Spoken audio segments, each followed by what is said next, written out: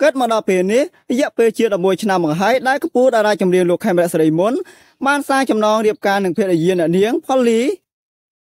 ដែលពេលនេះលោកអញ្ញានិងភរិយាទទួលបានចំណងដែរកូនប្រុសស្រីចំនួន3នាក់មកហើយដែរកន្លងមកមហាជនអ្នកគ្រប់គ្រងបានដឹងហើយថាជីវិតឯកជនរបស់អញ្ញាខេមរៈពាក់ព័ន្ធនឹងជីវិតគ្រួសារដល់ពេលនេះលោកអញ្ញានិងភរិយាបានរស់នៅចាប់ដៃគ្នាយ៉ាងមានសុភមង្គលលើកំណត់ទ្របពីអាជីវកម្មតារាចម្រៀងផងនិងចំនួន អាជីវកម្មជាច្រើនក្នុងដៃផង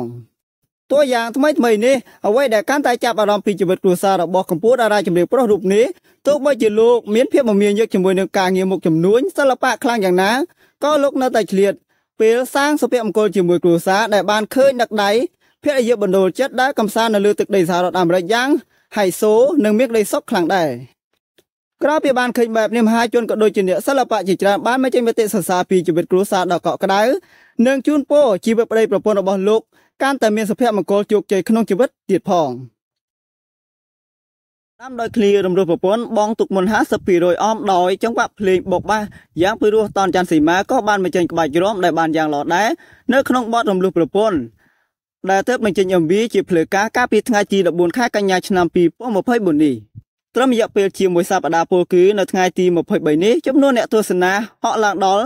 3.5 2លានដងទន្ទឹមគ្នានឹងការចេញបទថ្មីជាផ្លូវការនេះកញ្ញាតនច័ន្ទសីមាបានប្រើកេណនី Facebook របស់ខ្លួនដើម្បីបង្ហាញអារម្មណ៍រីករាយនឹងផ្ដាំនឹករលឹកដល់បងប្អូនខ្មែរក្នុងឱកាសពិធីបុណ្យភ្ជុំបិណ្ឌទៀតផង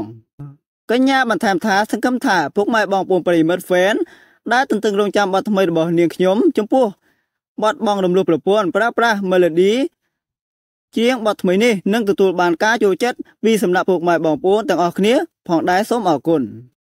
ក្រោយពីបានស្ដាប់ fan fan ជាច្រើនចូលទៅ comment ដោយអ្នកខ្លះលើកឡើងថាតនច័ន្ទសីមាបើច្រៀងធ្វើសម្លេងធម្មតាកាន់តែពីរោះអ្នកខ្លះថាសម្លេងប្រៀបដូចជាស្រវឹងនិងខ្លះទៀតនិយាយថា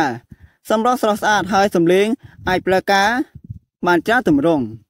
ទន្ទឹមនឹងគ្នានេះក៏មានក្រុមសម្ដែងនិងក្រុមយកបទចម្រៀងមួយនេះទៅជាងឡើងវិញហើយក៏មានអ្នកពលពាកពេញចិត្តខ្លះនិងមិនពេញចិត្តខ្លះ មានអ្នកលើកឡើងថាសម្លេងនិងបទចម្រៀងម្ចាស់ដើមដូចជាមិនសូវស្រវឹងតែក្រុមថ្មីនេះស្រវឹងខ្លាំងម្ល៉េះសូមរំលឹកថាបទចម្រៀង MV សូមរំលឹកថាបទចម្រៀង MV បែបញាក់របស់តារាចម្រៀងតនច័ន្ទសីមាបានចេញជាផ្លូវការហើយនៅថ្ងៃទី14ខែកញ្ញាឆ្នាំ2024ក្រោយចេញជាផ្លូវការបទចម្រៀងដែលមានចំណងជើងថារំលោះប្រពន្ធត្រូវបាន fan fan លើកមកនិយាយពីការប្រើសម្លេងនិងកាយវិការសម្ដែងផ្សេងផ្សេងគ្នា ជាលទ្ធផលបទចម្រៀងនេះទទួលបានការគាំទ្រច្រើនដោយគិតត្រឹមរយៈពេលតែជាមួយសប្តាហ៍ចំនួនអ្នកស្ដាប់ អ្នកទស្សនាហក់ឡើងដល់3.2លានអឹម